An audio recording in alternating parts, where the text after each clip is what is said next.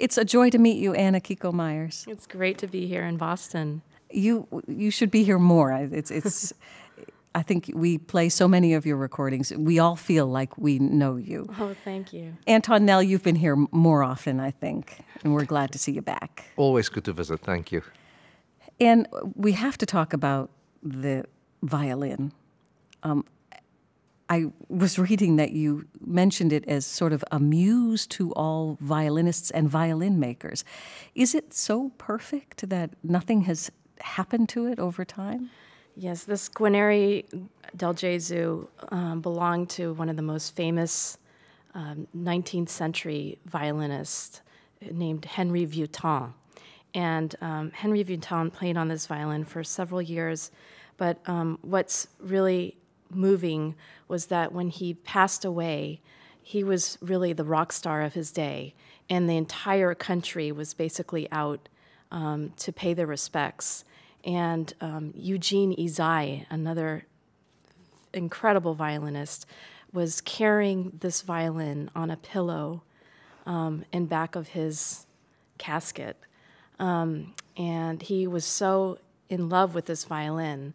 And it really um, is quite extraordinary because there are no cracks in it. There's just nothing. It's completely like a virgin violin that left Guarneri's workbench like pristine just, just off condition. the bench, huh? Yeah.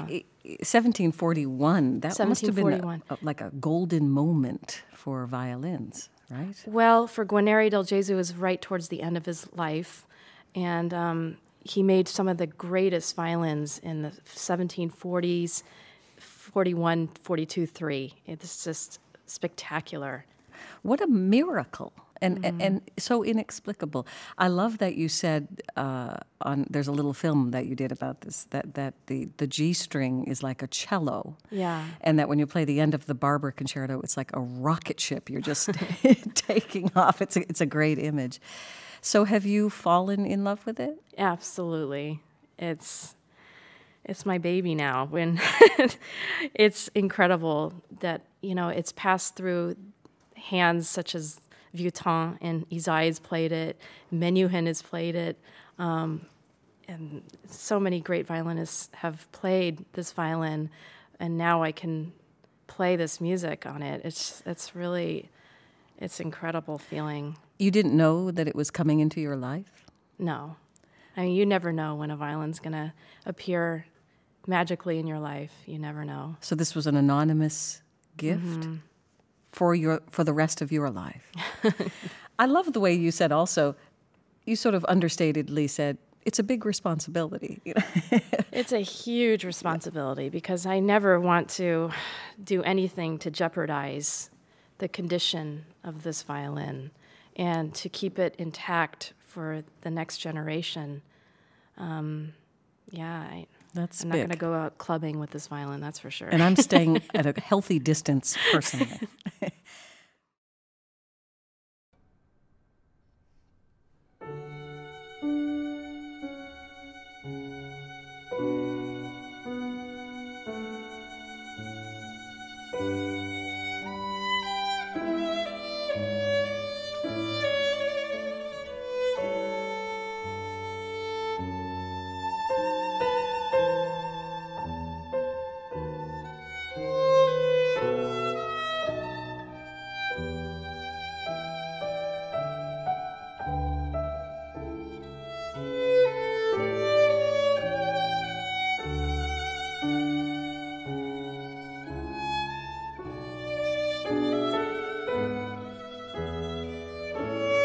Música